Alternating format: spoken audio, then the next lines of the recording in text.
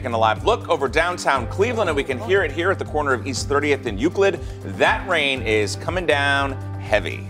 It's making up for lost time. Mm-hmm. I tell you what, we need, we definitely need Lots. the rain for sure. Uh, if we could just spread this out a little bit so it didn't knock them at one know. time and mess with our morning commute, that would be ideal. But Because so much of it runs off because the ground is so hard. Absolutely. Yeah. So w- the good news is we've got more opportunities for more rain as we go. And this will not last all day. I've got a lot of heat and humidity through the day today and another round of storms this evening. Right now, though, check this out. Line racing through a ton of lightning with this stuff heading toward Columbus.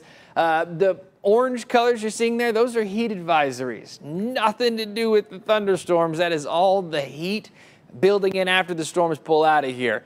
We're close to those advisories. Treat it like a hot day. It's going to be a hot day. We're within a degree or two of those, of the criteria for that. So hot. Heat advisory not.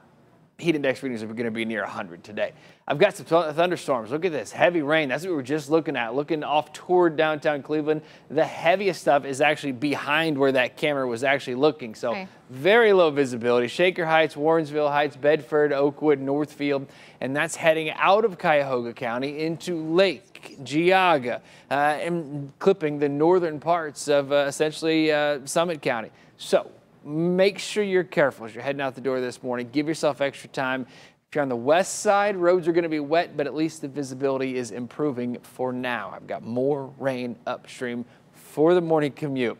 After the rain gets out of here, guys, super steamy, low 90s, fueling more storms this evening. Get ready for that. I'll show you those coming up.